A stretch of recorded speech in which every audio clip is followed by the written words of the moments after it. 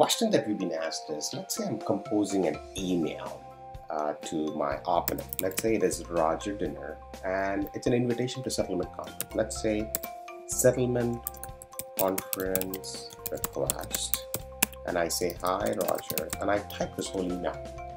Can I directly take this content and docket it in uLaw without going to uLaw? The answer is absolutely yes. Let's say I'm going to say settlement conference in Kingston and what I can do is I can go to my Chrome extension and I can install my extension called uLaw Toolbox. All for that, what I need to do is go to Google, Google uLaw Chrome extension. You will get something like uLaw Toolbox and install it.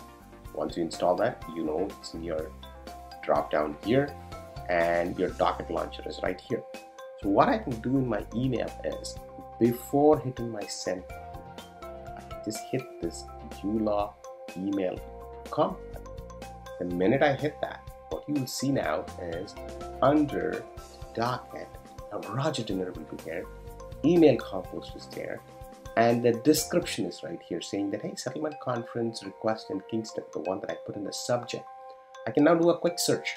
What the search will do is it will go and find all the matters that I have for my clients where my opponent lawyer is Roger or maybe Roger is in some additional party. Once I find that, here are the matters. I can choose which matter. But in this case, I'm going to choose Alicia versus Dennis and say, hey, I'm requesting, uh, you know, with the opponent lawyer, a settlement conference, and I want to docket that.